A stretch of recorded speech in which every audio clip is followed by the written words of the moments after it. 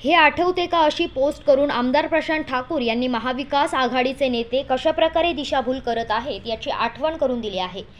बरं हिंदू हृदय सम्राटांबद्दल एवढं तुम्हाला प्रेम आहे ना? मग जो नवी मुंबई एअरपोर्ट होतोय त्याला हिंदू हृदय सम्राटांचं नाव द्यायला तुमचा विरोध काय?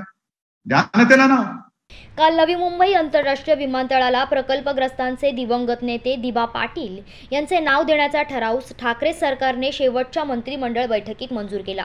हा मिळालेला विजय प्रकल्पग्रस्तांच्या आणि त्यांच्या जिद्दीचा आहे. गेली अनेक वर्ष प्रकल्पग्रस्तांनी हा लढा उभारला आणि अखेर राज्य सरकारला जाता जाता का नाही पण ही सुबुद्धी सुचली. आणि आंतरराष्ट्रीय विमानतळाला दिबा पाटील यांचे नाव देण्यात आले. गेली अनेक वर्ष हा लढा सुरू असताना राज्याचे मुख्यमंत्री उद्धव ठाकरे हे आपल्या वडिलांचे बाळासाहेब ठाकरे यांचे नाव देण्यासाठी अग्रही होते. मात्र नाव देण्याचे जाहीर केल्यानंतर महाविकास आघाडीच्या स्थानिक नेत्यांकडून लोकांची दिशाभूल करण्याचा प्रयत्न झाला आहे. अशातच आमदार प्रशांत ठाकूर यांनी माजी मुख्यमंत्री उद्धव ठाकरे यांची व्हिडिओ पोस्ट करून हे आठवते का याची आठवण करून दिली आहे.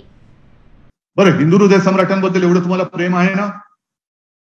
मग जो नवी मुंबई एअरपोर्ट होतोय त्याला हिंदू हृदय सम्राटांचं नाव द्यायला तुमचा विरोध काय द्या ना त्याला ना हा जो समृद्धी महामार्ग समृद्धी महामार्ग आहे मुंबईपासून नागपूर तो नागपूरपासून आपण आम्ही आता गडचिरोलीपर्यंत नेलेला आहे. तो तुम्ही नुसता रस्ता बनवत होतात.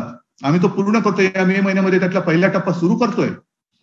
म्हणजे नागपूर ते शिर्डी त्या मार्गातला एक मोठा टप्पा या येत्या महिन्याभरात आपण सुरू करतोय. म्हणजे हा रस्ता तुमच्या तिकडे तुमच्या नागपूरला टेकलेला आहे ना? नागपूरच्या पुढे गेलेला आहे ना?